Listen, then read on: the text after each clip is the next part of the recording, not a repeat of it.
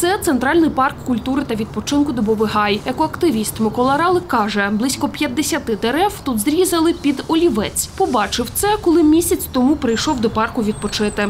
Ви бачите, отут е, дерево обрізали років 4-5 назад, і воно вже все гниє.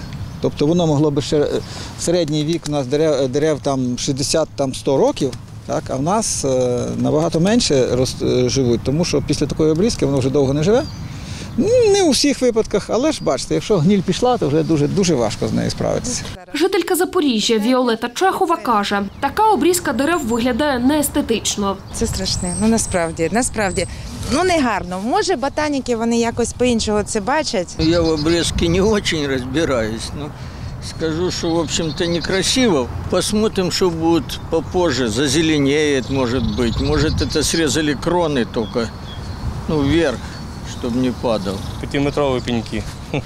Я думаю, це не гарно, е, але напевно ці дерева хворіють. І напевно було б краще повністю їх зрізати, ніж це Екоактивіст Микола Ралик розповідає, звернувся до міської ради, аби там пояснили, хто виконував обрізку дерев та за якою методикою.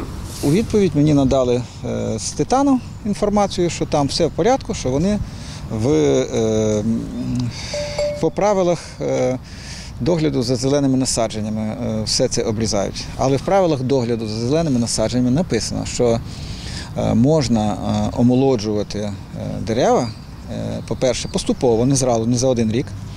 А по-друге, їх можна омоложувати тільки до скелетних гілок. Тобто не олівець такий, Виконують обрізку дерев у Запоріжжі, як і в інших містах країни, згідно з наказом номер 105, де прописані правила утримання зелених насаджень. Повідомив Суспільному телефоном начальник міського управління з питань екологічної безпеки Гліб Золотарьов. Втім, чи не були у даному випадку порушені правила обрізки дерев, пообіцяв Суспільному прокоментувати у відповіді на інформаційний запит. Документ журналісти надіслали. Чекаємо на відповідь.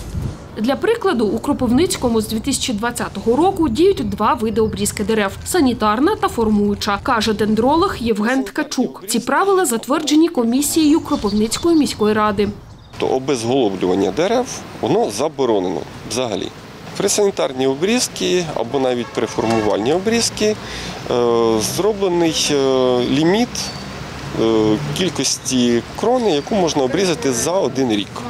Це для того, щоб дерево не е, пішло в стрес і могло далі нормально розвиватися. Відмовилися від такого омолоджувального обрізання дерев і у Львові. В принципі, омолодження стосується більше кущів. Е, До дерев воно не, не, не мало би належати. От, е, і е, ми залишили тільки санітарну і формуювальну обрізку.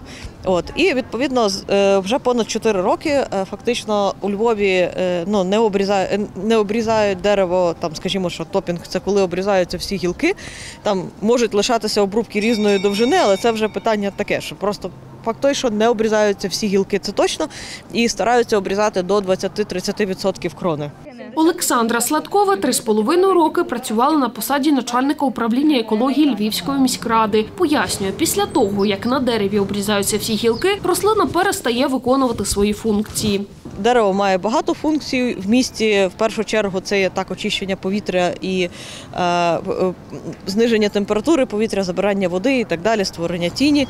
От е, дерево без гілок і без листя е, цих всіх функцій не створює, тому воно в принципі є абсолютно ну не недоречним. Дар'я Пасічник, Андрій Варіонов, Суспільне новини Запоріжжя.